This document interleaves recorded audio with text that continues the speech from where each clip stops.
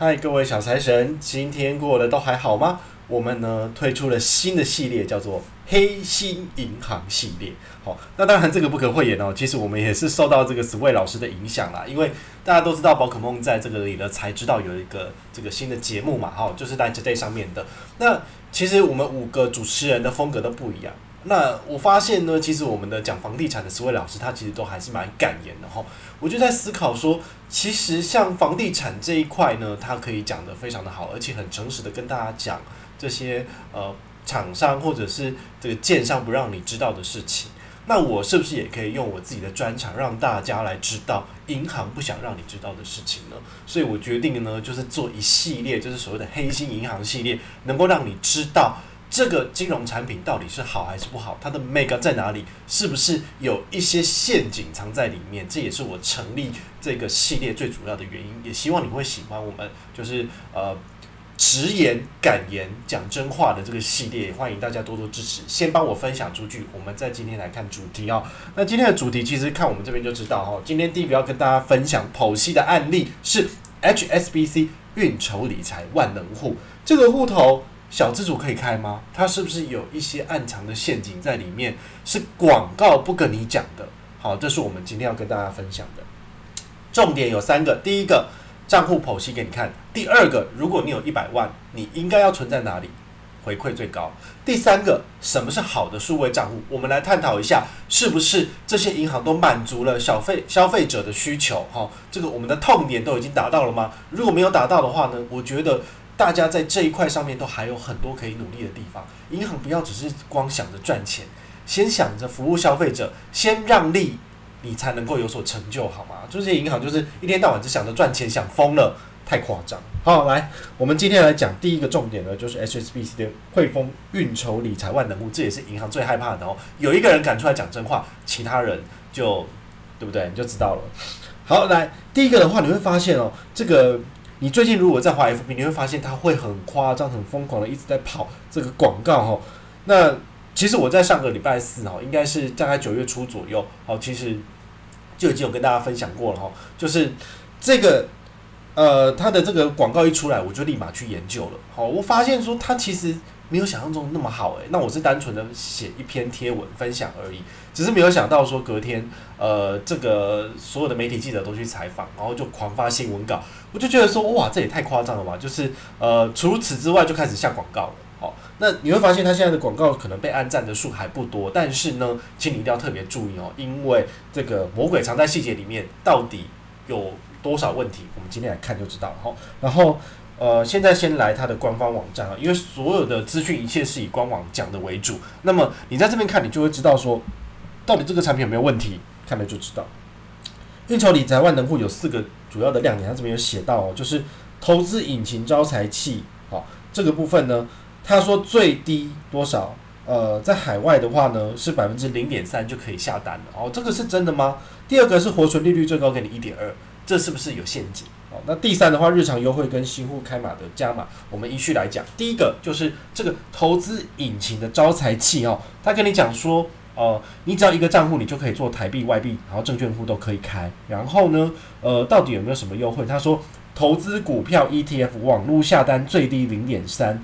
那你知道这个零点三需要符合多少的条件，你才能够就是拿到最低的这个手续费吗？那再来的话呢，他说优惠最高给你五十美金。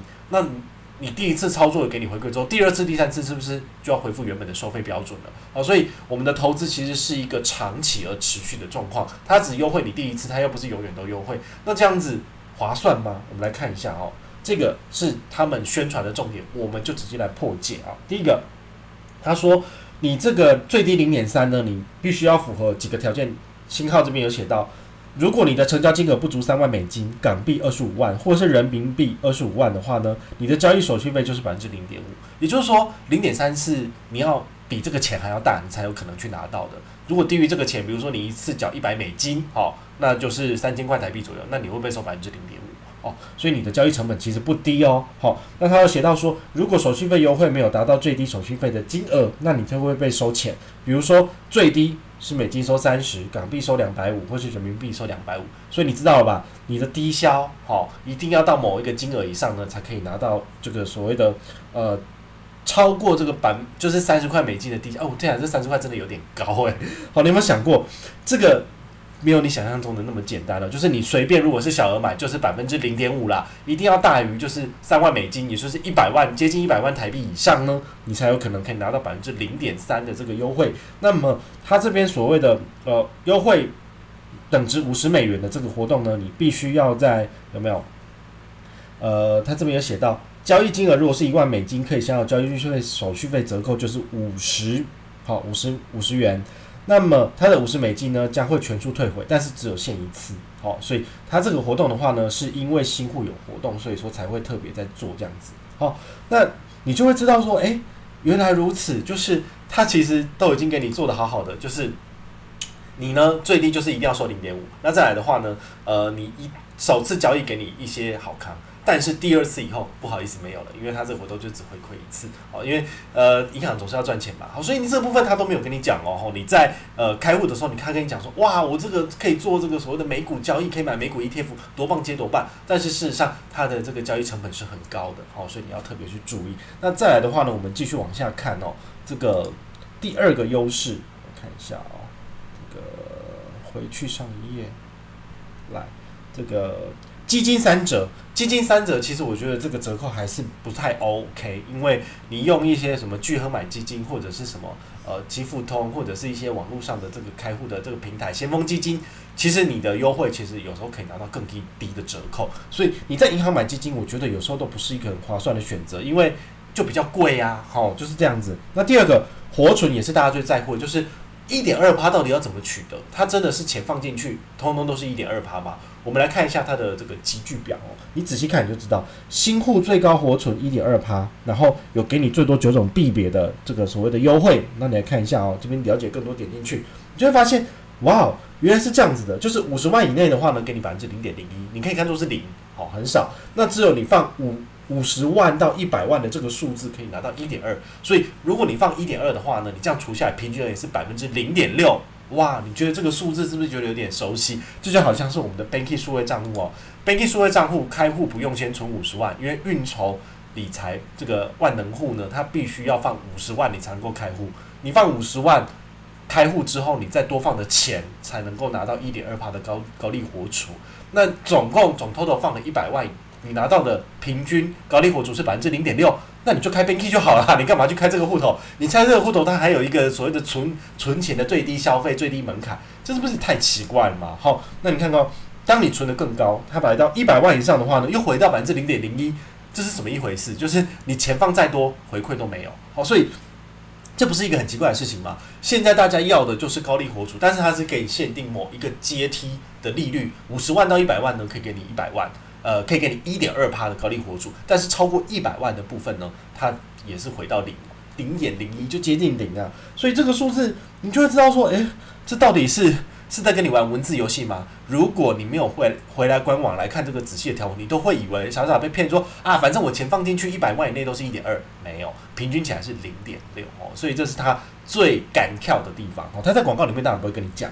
好，那它的各个不同的币别都是一样的设计机制，好，所以你可以自己去看一下。好，我我个人觉得，嗯，这个就是有点是在欺负消费者啊，因为他都没有把这个诚实的资讯揭露出来，他只是用广告来吸引你进来看哦，所以这点你真的要特别注意。这是我看了之后我觉得不太 OK 的，好，提供给你参考。那再来的话呢？金融卡有三十次的跨提转优惠，这个看起来还不错。但是呢，你要特别注意哦，如果你要把它拿来玩这个所谓的 Web ATM 的活动，像日盛的或者是台新的，你有可能被 d a m 有这个记号哈。也就是说，太频繁的做这种交易来转换成这个所谓的点数，换成刷卡金之类的行为，应该是会被禁止的。所以你必须要去适量的去使用，不然的话呢，一笔五块钱的话，每个月大概可以赚多少？三十乘以五是一百五啦。所以一年下来的话是多少？一百五再乘以十二是多少？我看一下啊，呃，计算一下，好，一五零乘以十二，哦，九千哦。哦，那还不少诶。不过你要特别注意哦，不见得是每一个人都可以，就是每个月都交易三十笔，然后去赚到这个回馈啊。好，所以要特别去注意哦。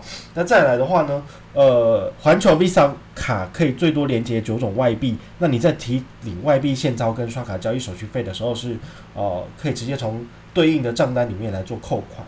但是你要特别去注意哦，因为它这个呃，我看一下，运筹理财户与国外非汇丰 ATM 提款的时候会收七十，当月平均余额大于五十万，国外提款手续费会下一个月会回去哦，所以它是属于先扣后退的这个情形。但是呢，呃，他说大部分的情况是免收国外提款手续费，在某些国家，比如说阿根廷、法国、巴西、希腊、马耳他。呃，墨西哥、纽西兰、土耳其还是会被依当地的规定收取哦，所以你要还是要特别去注意哦，就是这个费用的部分，其实在各个国家是因人而异的。好，所以写的很好，但是还是有很多的美感，你要特别去注意。那再来的话呢，呃，有讲完了不好的地方之后，我们来聊聊说，诶，可能还可以的，比如说新户，然后首次开户来解任务，最多可以再多拿一千哦。如果你有很多的闲的时间，而且你的钱。闲到不知道可以干嘛的话，你可以来开户。开户之后，你可以拿一千块。这一千块怎么拿呢？他这边有写啊，有没有？你可以第一个任务就是放五十万呢，可以拿五百。好，那再来的话呢，如果你完成开立数位账户，而且再上风险性评估，再多拿两百。那第三个就是你如果有做等值外币的换汇十五万以上，可以再拿三百。所以加起来就是多拿一千。不过呢，你这五十万如果只放在汇丰，它是没有任何利息。哦，所以就是还蛮差的，但是如果你为了赚一千块，你愿意把你的五十万拿来这边，就是稍微拉几来拉几，然后再拿走，那也 OK 哈。但是你还是要特别注意哦，它这个户头如果开户完之后的一定时间内进行销户，是不是有可能会把你优惠收回去？你要去查这个条款哦，特别注意。那如果你是新卡友的话呢，你现在申请。汇丰现金回馈预习卡，再加上五百刷卡金，好，那这五百刷卡金到底要怎么取得呢？你也可以按了解更多来看一下。我个人觉得他以前是刷五千送五百，这样最简单，但他现在不一样哦，他现在要求你可能先认刷一笔，然后呢，这个。绑定什么 Line Pay 跟接口来认刷两笔，再拿两百。那最后的话呢，就是还要再做这个所谓的固定扣缴入账。哦，你可能就是 Spotify 一定要把这张卡片之类的，再多拿两百。所以呢，这三个任务，我个人觉得都已经加大了这个所谓的信用卡用户粘着在他们的产品使用上的这个方向哦。他这个做的这个方向其实没有不好，只是说对于我们单纯只想解任务、只想拿好康的人来说就很麻烦了。因为以前的话，可能就是呃十趴回馈嘛，比如说你就是呃。在这个所谓的 f o o Panda 或者是这个 Uber Eats 里面，就直接刷五千块，然后下个月能给给你五百，哦，这样就好了。但是现在不一样，你要做很多很多的动作，你才能够拿到这五百。好，我个我个人觉得就变得比较麻烦一点了。好，那第三个话呢，他说新户参加信用卡账单或这个信用贷款的自动扣缴专案，可以再多拿五百。好，那这部分的话呢，就是你自己去衡量。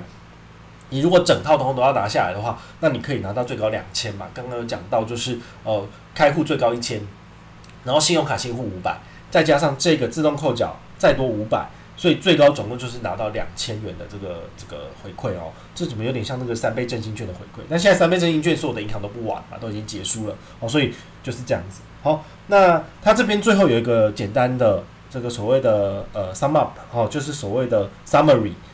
跟你讲说，诶，如果你是在国内日常的话呢，你有每个月有三十次的跨提转，那么接下来的话呢，透过网银就可以就是安安全登录来轻松理财，这不是废话吗？好，那国际性的服务的话呢，就是哦，Visa 卡，呃，环球 Visa 金融卡享有海外 ATM 提款免手续费，那另外一个是呃免国外汇入款的手续费，这一点我要特别提出来，因为这可能是这里面。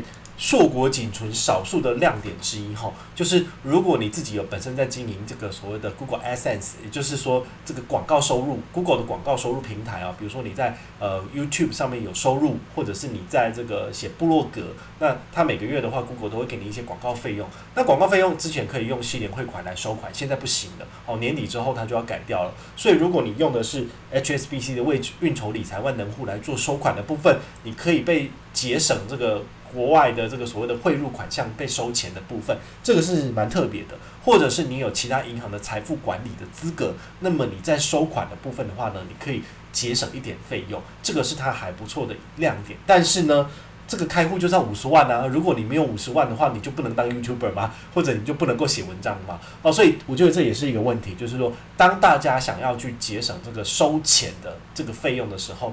你可能也没有多少选择，那这个可能是目前市面上一个很不错的一个亮点哦。但是我觉得一般人可能不见得每个人都是 YouTuber 嘛，所以这就这个优惠对你们来说可能也没什么用。好，这是提供给大家参考。哈，来再来的话呢，我看一下，往下，哈，这个呃，网络银行的环球转账美金有七元七美元。好，它这个意思是说，如果你要把你的钱转到美国的银行户头，前提是你在美国有开户，那么转过去一次的成本是七块美金。好，那这个意思是什么呢？就是说，它其实是蛮适合你做这个所谓的呃，把钱汇到国外进行投资。比如说，你觉得国内银行所提供的 offer，哈，这个你要做这个海外券商交易的。成本太高了，那你是不是可以利用这个 HSBC 的这个汇款服务？你的成本就是只要七美金，那么汇到国外的户头之后，再转到美国券商的户头里面去进行投资，你的成本是不是更低呢？因为刚刚有讲到嘛，如果你要投资美股或者是美国 ETF，它都会收百分之零点五，再加上最低低销手续费美金好像是三十，哦，这些钱啊，美金三十到五十，哦。这个钱的部分，你在国外的这个所谓的美国券商交易，你都不会被收取。但是这些就是银行帮你提提出这样的服务，所以他要跟你收取这个费用。哦，所以你也是要特别去注意，就是说，如果你要降低你的投资成本，也许你可以利用这个户头把钱汇到美国去。你只要做好相互的两边的约定之后，钱汇进去，再把它汇到这个美国券商，那的确是可以让你省下更多的交易费用。诶。汇款一次才七块，但是你在台湾这边每投资一次，你可能就要被收三十到五十美金，这个是差蛮多的。好，所以你要特别去注意哦，这个也还是有它的亮点，但它的亮点是你还是要把你的这个保护费五十万美金压在这个户头啦，不然的话呢，低于这个户头你会被收这个所谓的账管费哦，还是有问题的。好，所以。魔鬼都藏在细节里面，自己一定要特别去看清楚哦。好，真的有兴趣，真的喜欢了，点下去自己开户。那我们这边的话呢，就没有特别做推荐。你喜欢你就开，不喜欢你就不要开。好，我们就诚实讲就好。那再来的话呢，我们要来跟大家聊一下哦。诶，跑哪去了？我的这个好。如果你有一百万，你应该要存在哪里？好，我相信这个应该也是大家就是很想知道的一个问题。好，那。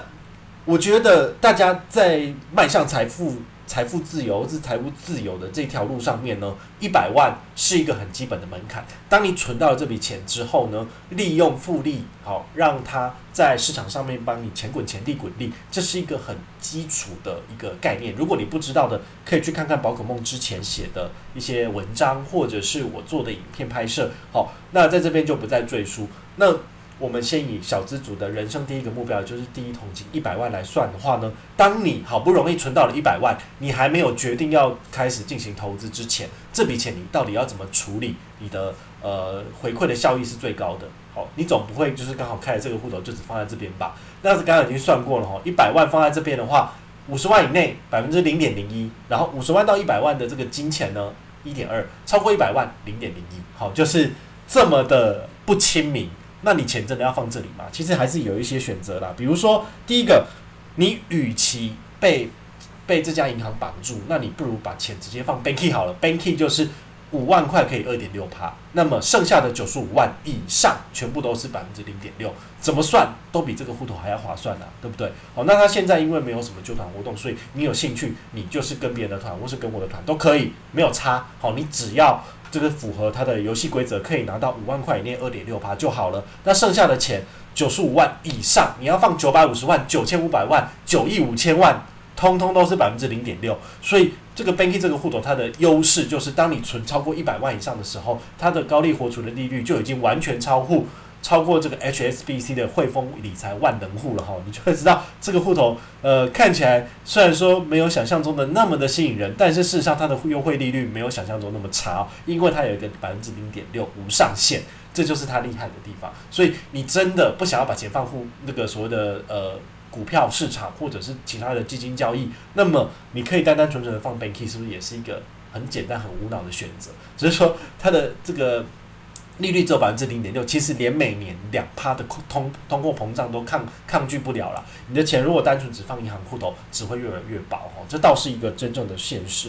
那另外一个，我要再教你另外一个方式。如果你分五十万跟五十万两个户头来放，你是不是有更好的选择呢？很简单，永丰大户先放五十万，有一点一八高利活储。第二个放上海银行的 Cloud Bank，五十万以内一样是一点二八高利活储。这两个户头都是活动持续到年底。然后你可以在年底的时候再来看看这两家银行的优惠利率是不是有在延续。但是我觉得现在的竞争越来越激烈了哈，所以不见得会缩水哈，因为呃有越来越多的银行要加入战局，包括纯网银也是哈，所以你倒是不用担心。所以如果你有一百万，我建议你分成两笔，一笔五十放永丰大户，另外一笔五十放 Cloud Bank。好，这样子的话，你的平均优惠利率大概是来到了一点一五嘛。好，但这个优惠利率其实也都是比这个只放汇丰万能户的这个百分之零点六还要高上不少。好，所以聪明的人都知道要怎么做。好，在这边就是提示你喜欢就自己去申请，就是这样子。好，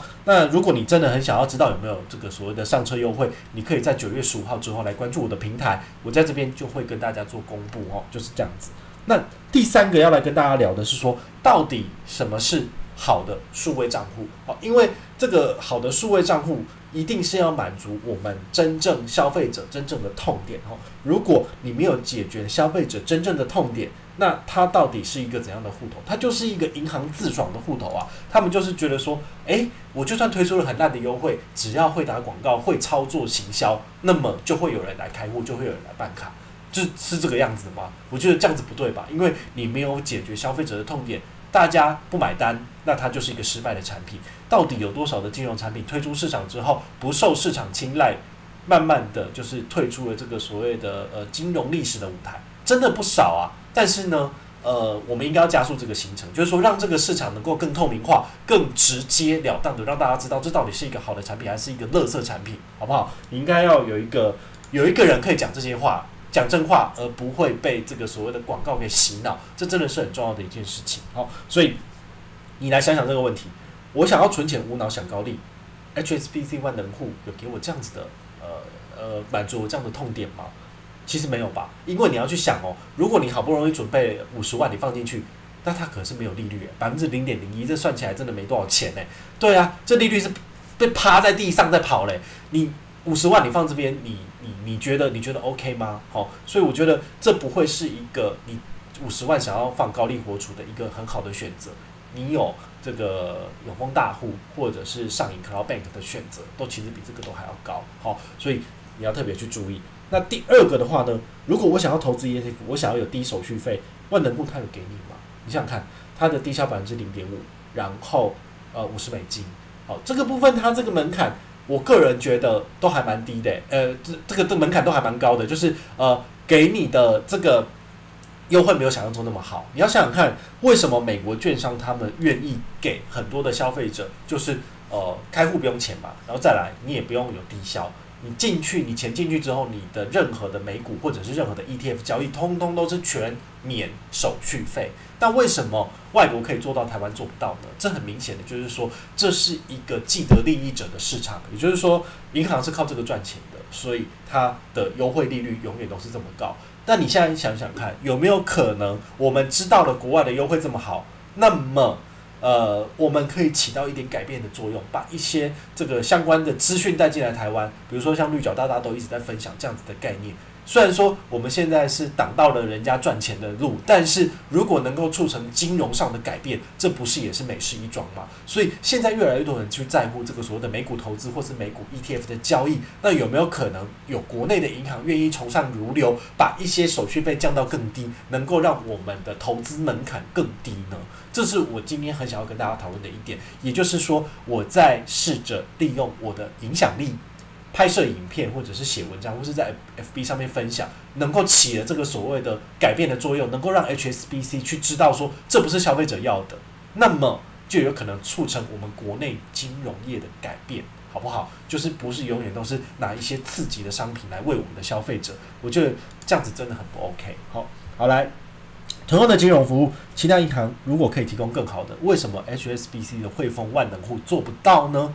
这个就是很明显的嘛，因为他打的可能是一个资讯落差的战争，就是说你可能不知道其他的银行在玩什么，但是他的广告打到你了，你觉得不错，你就开户，你就去使用他的服务，但是你永远都不知道有其他更好的服务在旁边等着你。好，所以我也希望能够借由我的黑心银行系列，能够让更多的消费者去知道说，这不是一个最 OK 的产品。我也希望他们能够把这个产品权益再升级。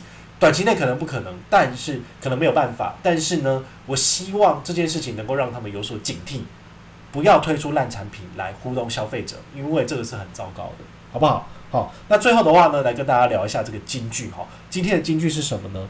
万能万能万万不能哦，就是小资族，请你想清楚再开户。如果你真的用得到他那些优惠，而且你确定可以回本，那当然你就去开。不过呢，我还是要讲。它绝对不会是市场中万中选一的好账户，好，因为它有太多太多的美感，太多太多的陷阱在里面呢。如果你都不知道的话呢，傻傻的存钱，你没有拿没有办法拿到利息哦，这些全部都是骗人的，好不好？好，特别去注意哦。就算得罪银行，我也要讲真话。就算很多很多的这个 dislike 不喜欢的这个这个这个这个所谓的按按按这个不好的这个部分，我还是不管哦。这该讲的就是要去讲，它这个产品不好的话，我们大家一起来，就是民众有觉醒，那么银行它接下来就会推出更好的产品哦，是一样的道理。那当然，我还是要特别去讲，就是为什么汇丰要在这个时候推出这个产品，非常的明确的，我们都知道，在下个月开始，纯网银大战即将开跑了。二零二零年年底之前，三家纯网银都要进行上线了，也就是说，像 My Bank。将来银行，然后还有这个乐天银行，他们都要上线了，所以这些传统银行都会开始非常紧张了。他们会很希望把一些自家的客户留在身边，或者是不要流失太多年轻的客群。所以他们会主打这所谓的数位账户，用数位账户的一些优势来吸引别人。那他们当然想要求新求变，只是说他们中间又在这个呃条文里面又做了一些很莫名其妙的事情，让你以为好像单纯的存钱就可以拿到这些好康，但其实不是。他做了非常非常多的令人生厌的这个所谓的呃陷阱在里面。好，所以我真的觉得一定要拍一支影片跟大家讲清楚。如果你还真的执意要去开户的话，那我没话讲，但是如果你真的知道了有这么多这么多不 OK 的东西藏在里面，你是不是就应该要做几 do something 做一些什么事情来改变这个所谓的台湾金融产业？最简单的一件事情就是说，立马订阅宝可梦的频道，而且按赞，然后把这个资讯分享给你身边的亲友。对于这些即将要被洗脑的人，都要有一个觉醒的认知，哈，不要。被骗了哈，这个就是我们黑心银行要很直接跟大家讲的，不要去做这件事情，因为你只要去开户了，就蹭了他们的心，好不好？这个真的是很糟糕的一个产品，不要上当。好，我是宝可梦，我们下回再见，拜拜。